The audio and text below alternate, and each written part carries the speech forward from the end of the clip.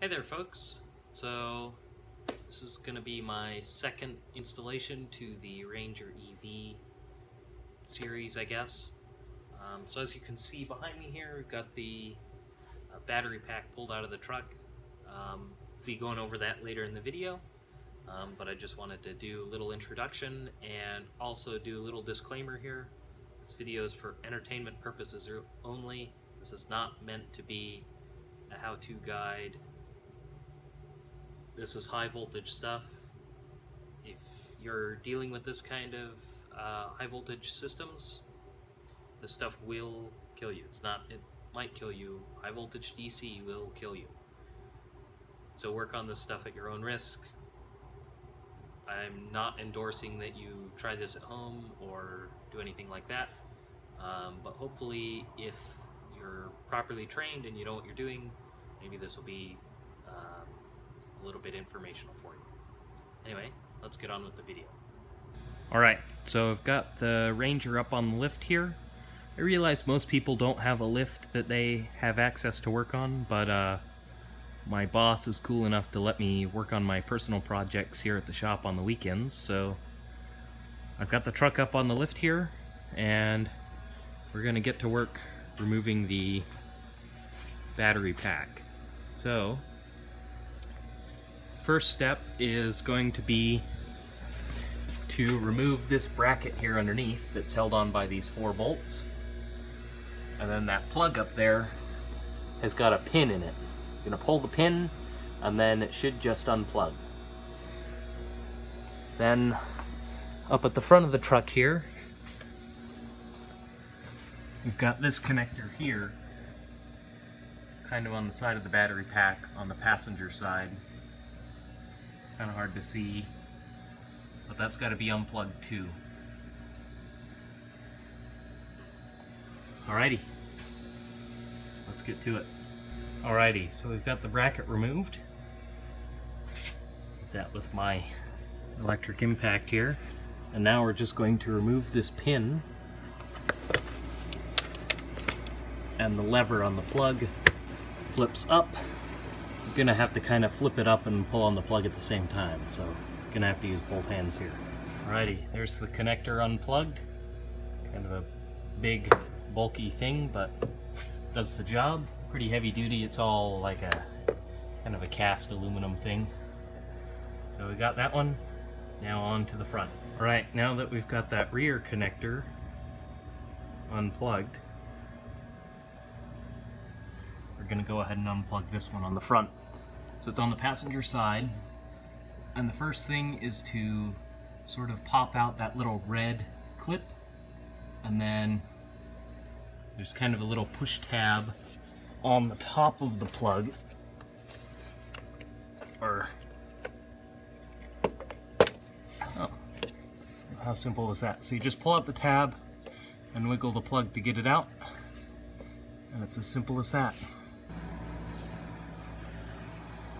Alrighty, so our next step is going to be to actually physically drop the battery pack. Now, this is a part of the process that's kind of dangerous. Keep in mind that this battery pack is very large. If this were in its original lead acid configuration, it would literally weigh a ton, 2,000 pounds. So don't take this lightly, pardon the pun.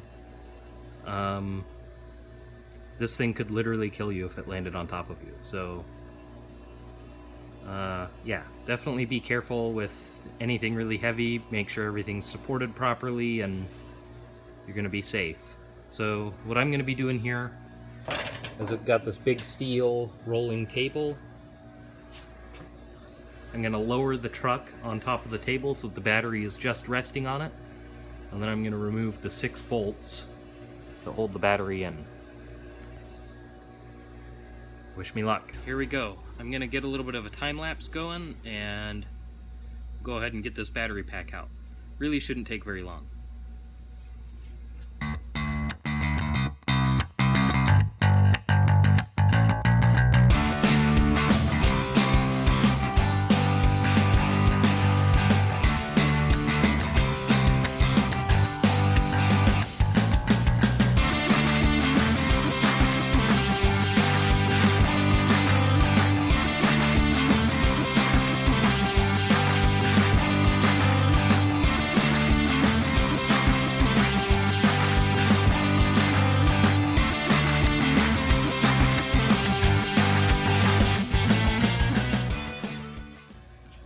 Alrighty, there we have it.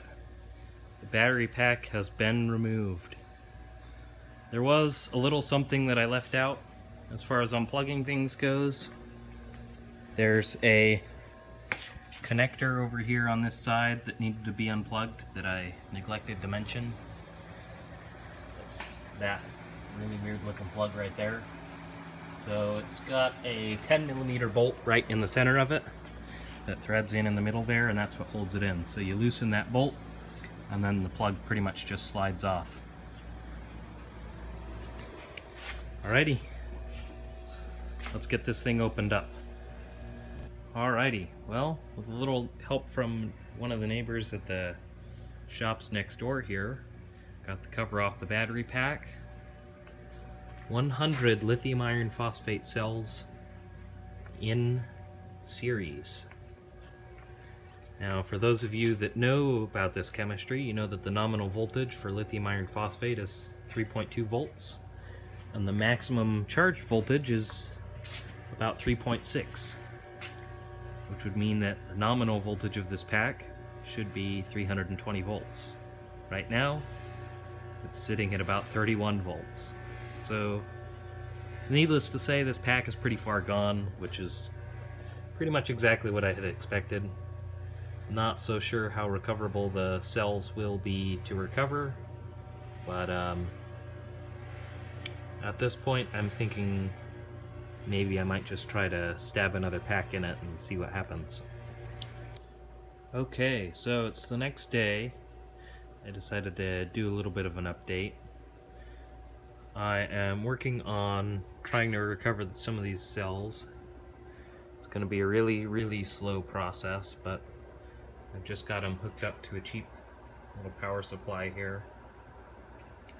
Charging at 5 amps, which would be 0.05 C.